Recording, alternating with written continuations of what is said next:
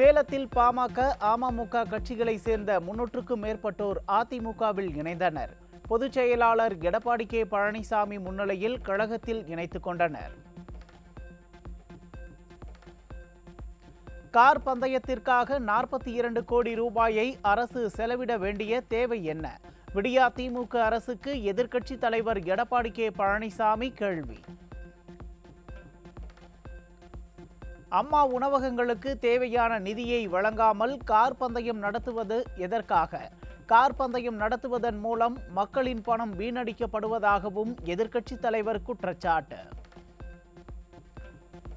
சென்னையில் மழைநீர் தேங்குவதை தடுக்க அரசு எந்த நடவடிக்கையும் எடுக்கவில்லை. எதிர்க்கட்சி தலைவர் எடப்பாடி கே பழனிசாமி குற்றச்சாட்டு. சட்டப்பேரவையில் சபாநாயகரே எல்லாவற்றிற்கும் பதிலளித்தால் துறை அமைச்சர்கள் எதற்கு? எதிர்க்கட்சித் தலைவர் எடப்பாடி கே. பழனிசாமி கேள்வி.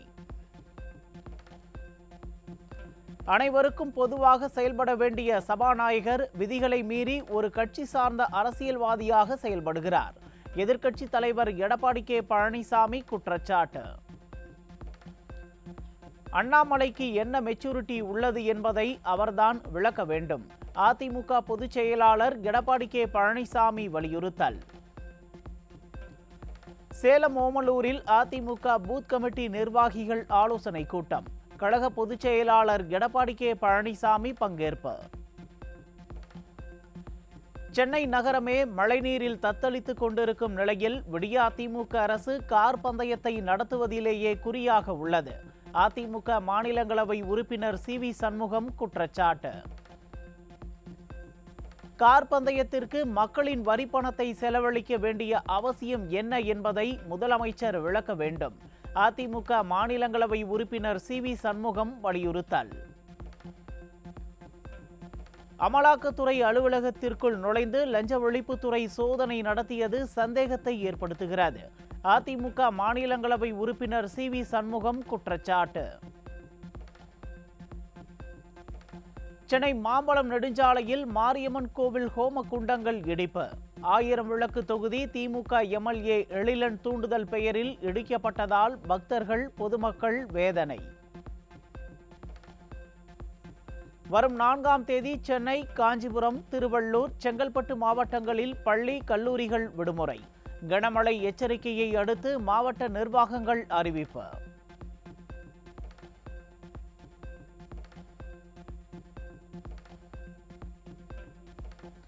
செம்பரம்பாக்கம் ஏரி முழு கொள்ளளவை நெருங்கும் நிலையில் ஆபத்தான நிலையில் செல்ஃபி எடுக்கும் பொதுமக்கள்.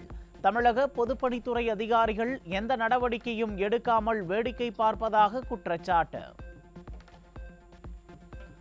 சென்னை அம்பத்தூரில் வீடுகளை சூழ்ந்த மழை வெள்ளம்.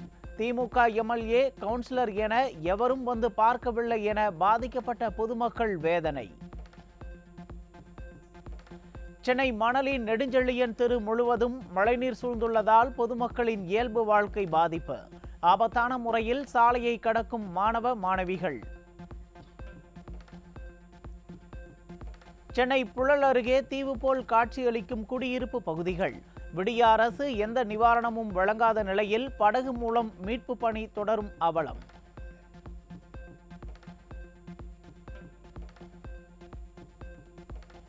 புயல் எச்சரிக்கை காரணமாக பழவேற்காட்டில் ஐந்தாயிரத்திற்கும் மேற்பட்ட மீனவர்கள் கடலுக்கு மீன்பிடிக்க செல்லவில்லை.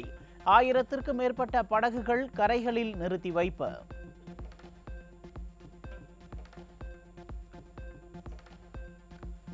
சென்னை மாதவரம் அடுத்த வடம் பரும்பாக்கத்தில் புழல் ஏரியின் உபரி நீர் சூழ்ந்துள்ளதால் சாலை மூடல். தேங்கிய நீரை அகற்ற நடவடிக்கை எடுக்காமல் சாலையை மூடிய தமிழக நெடுஞ்சாலைத்துறை ஊழியர்கள்.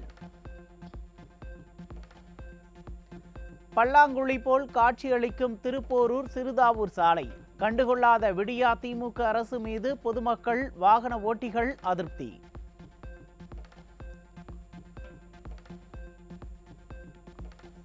திண்டிவனம் அருகே நூறு நாள் வேலை திட்டத்தின் பெண் பொறுப்பாளரை ஊராட்சி மன்ற செயலாளர் மிரட்டும் ஆடியோ. சமூக வலைதளங்களில் வைரலாகி வருவதால் பரபரப்பு.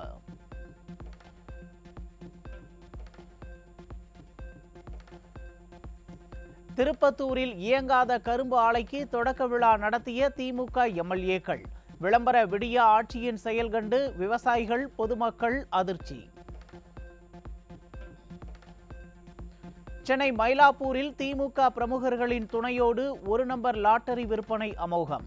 விடிய ஆட்சியில் காவல்துறையும் உறுதுணையாக செயல்படுவதாக அப்பகுதி மக்கள் வேதனை.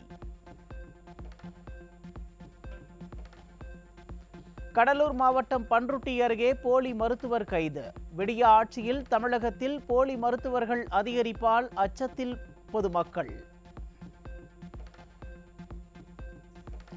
சென்னையில் ஒரே நாளில் ஆபரண தங்கத்தின் விலை சவரனுக்கு ஐநூற்று இருபது ரூபாய் உயர்வு. ஒரு சவரன் நாற்பத்தி ஏழாயிரத்து முன்னூற்று இருபது ரூபாய்க்கு விற்பனை.